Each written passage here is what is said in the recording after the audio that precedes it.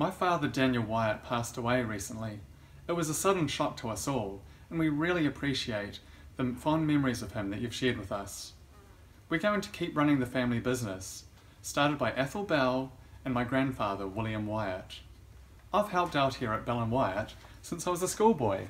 Check out this cute little guy.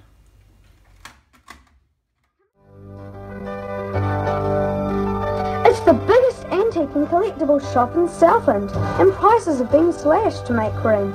Everything's gotta go. Pick up a bargain on tables, chairs, lounge suites, or units, sideboards, bedroom suites. The list is endless.